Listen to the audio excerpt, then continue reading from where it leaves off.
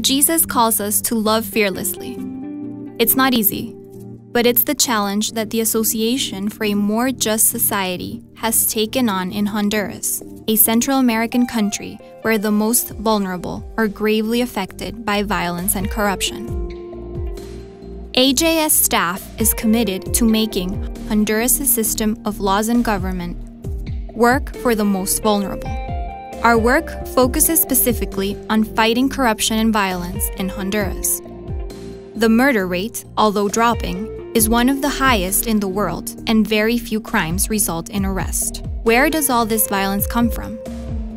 Honduras suffers from a vicious cycle of crime, corruption, and impunity, fed partly by the hundreds of tons of cocaine trafficked through the country every year.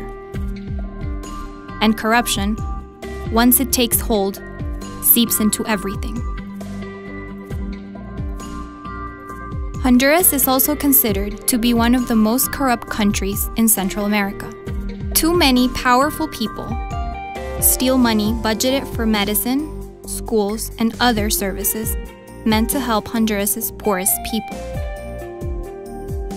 Stopping the corruption and violence means touching the interests of powerful people who benefit from the system, a daunting and dangerous task. But that seems to be exactly what Jesus calls us to when he tells us to be brave Christians.